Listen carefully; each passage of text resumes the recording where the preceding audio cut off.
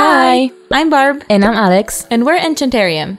In today's video, we'll be making Raphelia, the forest unicorn, for a special collaboration swap with Haider from H Ali Crafts.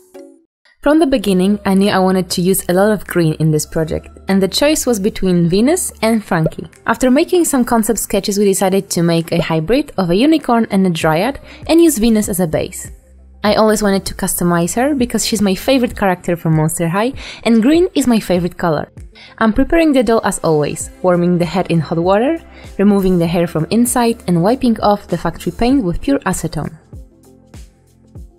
I'm going to customize her body first. For a long time I wanted to make a doll with animal legs, and now I finally have a chance. They won't be more articulated than the original legs. For that I can only recommend to you the Lightfoot's channel and her Dragon series. I'm cutting the legs with my Dremel tool, trying not to cut myself. I also made two little holes in each piece to glue the wire later on, but for now let's focus on the hooves. I'm going to use epoxy sculpt for this, because when cured, it's really stiff and easy to blend with plastic. Always wear gloves when mixing parts of the clay. First, I'm covering the toes and leaving the clay to dry. Then with a big blob of clay, I'm shaping the actual hoof and also leaving it to dry. I think that when the lower part is stiff, it's easier to work with the clay on the rest of the leg.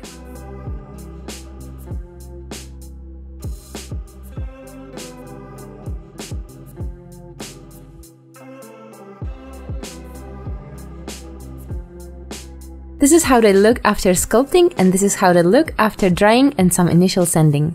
I note that I'm going to add a lot of clay to the legs and I don't want them to be too thick, so I cut some of the volume from the calves and around the joints. I know nothing about unicorns' anatomy, but they seem to have strong thighs, so I'm adding clay to the doll's upper legs.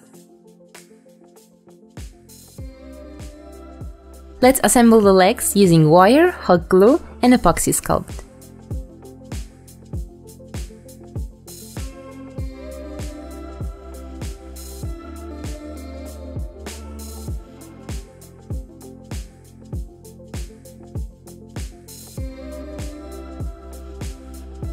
At this point, we realize that the legs are too long for our forest unicorn and we need to cut them again, so I repeated the process of cutting, gluing and sculpting.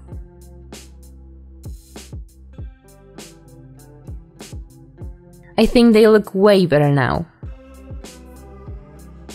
After sanding with a Dremel tool, they look like this. I also sanded off her molded factory pants. I'm sorry, but in Enchanterium's world, unicorns don't wear pants. I'm painting the legs with acrylic paints and then blushing the body with chalk pastels. I chose to make her skin a little bit more yellow and green to have a more consistent color palette. Horses have a very short coat of hair on their bodies and we're going to mimic that with tiny pieces of brushed yarn. I'm gluing it in sections starting from the bottom and the darkest brown. After it dries, I'm brushing off the excess and adding a second layer if needed. Now it looks very fluffy and messy, but I'm going to fix it by adding more glue on top. Then I'm adding more colors to the hair with soft pastels and drilling the hole in her back for a tail.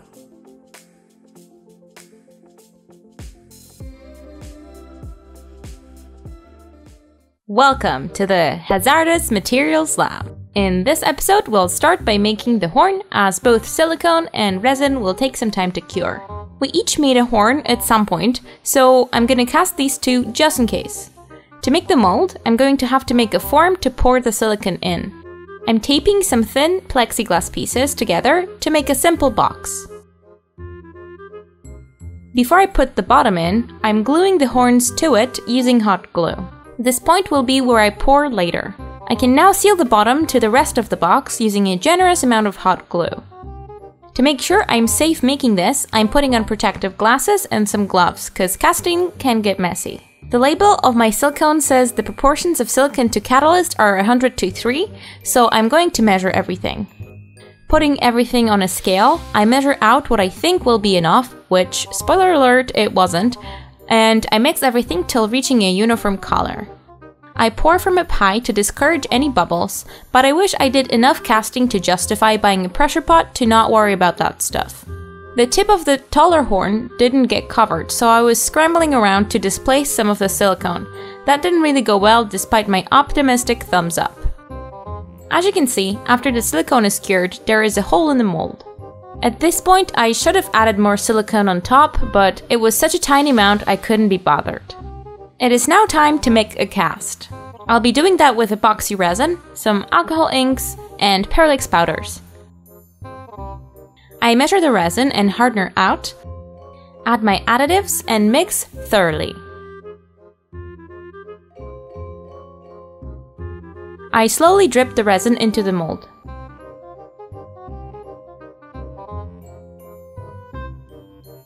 I modeled a bow and some arrows in Fusion 360 to print on my Ender 3.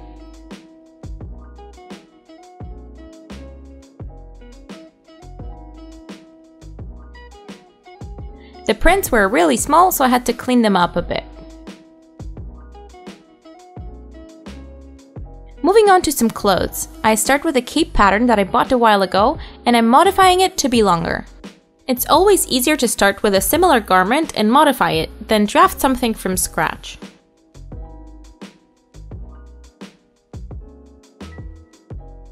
I'm cutting it out of some green Panama stretch, which, contrary to the name, does not really stretch. I'll be using two different threads in my machine, lime green in the needle and orange in the bobbin, to exploit my tension settings to make a two-colored decorative stitch. I'm intentionally ramping up the tension so that the bobbin thread gets pulled out on top of the fabric. I did some testing first to find the sweet spot. First, I hem the edge and then add the decorative stitch. I think it looks like a vine with some berries or flower buds on them, thanks to the orange peeking out. The cape gets a simple hook and eye closure and it's ready. I want to use yarn for her hair, but we don't have the right color in our stash, so I'm going to dye it with alcohol inks. I made a few different mixtures, tried them on test strands, and chose the best results. Then I made more of the alcohol ink mixture and dunked the yarn in it. It was a mess, but it worked.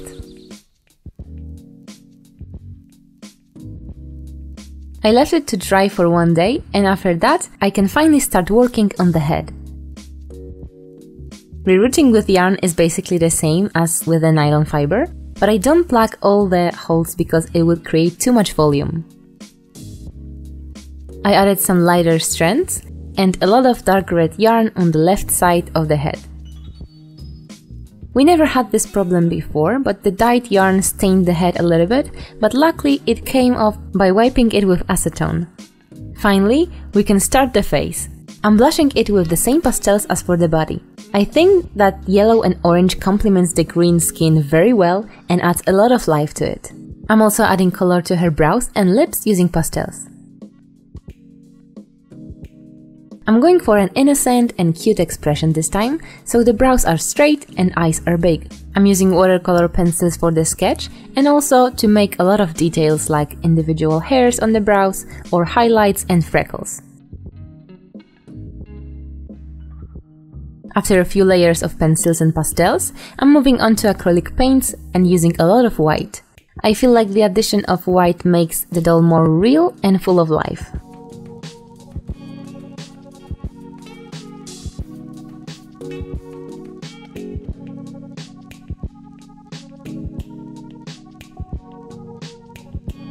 I added some details of camera and now I'm painting strong catch lights because you can't have too much of these when you're going for a cute look.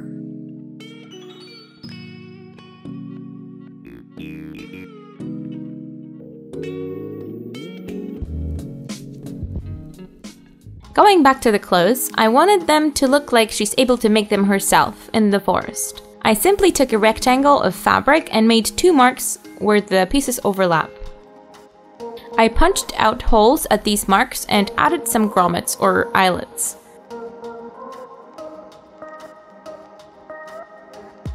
On the other side, I threaded some embroidery thread to be able to tie the top.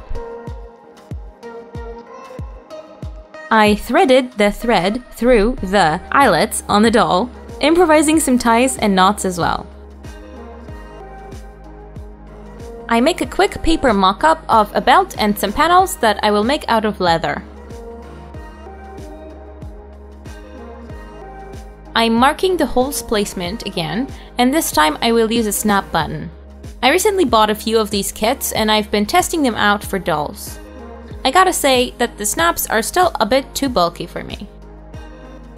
I put the tunic together using super glue and I know what you're thinking, the bottle looks funny, but I've spilled super glue more times than I would like to admit and that prevents it from tipping over and I can't flip this tabletop anymore because the bad side is already underneath.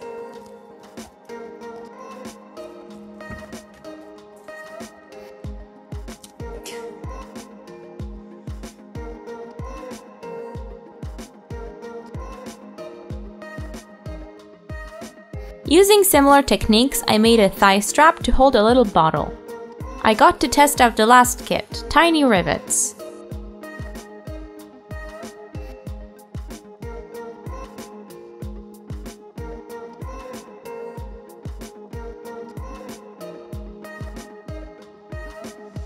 I also made a simple quiver for her arrows, again using leather and some metal pieces like the eyelets and a buckle. You may notice that I'm using the good side of the leather as the wrong side on all of these pieces, and that's because the brown wasn't really the best shade for our palette, and Alex is going to paint these in a moment.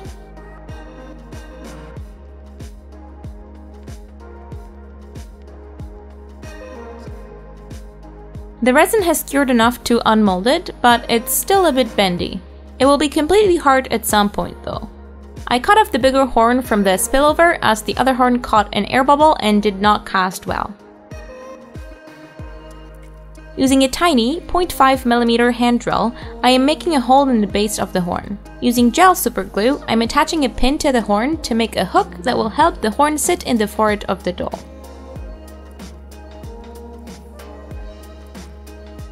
I can now drill a hole in her head and using a twisting motion, the horn can be placed.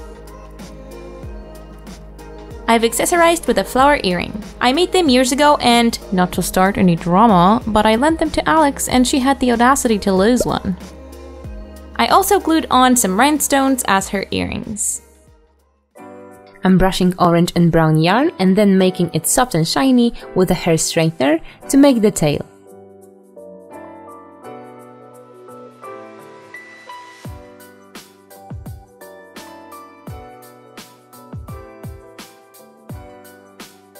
The leather parts need some detailing and I'm using watercolor paints for it. I'm filling the bottle with moss, a little handmade mushroom, dried flowers and cute iridescent pebbles.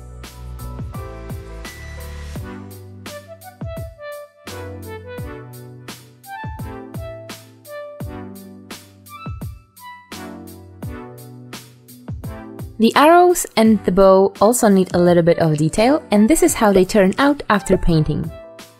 We made 5 arrows but I lost one during the photo shoot, so we sent only 4 of them.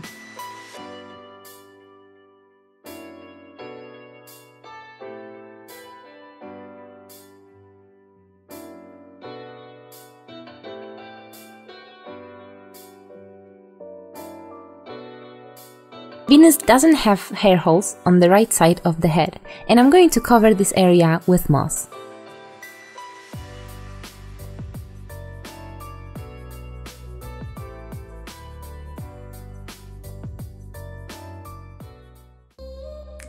This is how she turned out. Raphelia is now in Pakistan with Haider, and we're so glad we collaborated on the unicorn theme. When you check out Haider's video over at H Ali Crafts channel, you'll see how differently we interpreted the unicorn topic. Cause you're clicking on this video, right? If you were to create a unicorn character, what kind would it be? Would it be a foresty dryad like Raphelia? Dark as night like Esmeray? Or something completely different? Let us know in the comments down below.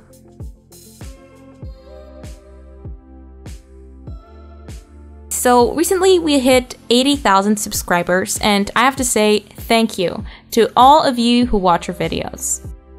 It would be awesome if we could hit the silver play button threshold, which is 100,000 subscribers, by the end of the year. So If you find yourself liking our content, please subscribe to the channel, share the videos, leave a comment, hit the bell. Literally any of these would help our channel tremendously. We post doll custom video about every three weeks, and we would love to see you here for our next upload too. Thanks!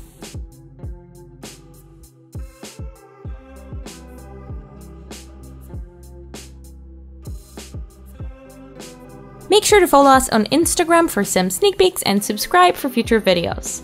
Have an enchanted day, and we'll see you next time. Bye y'all!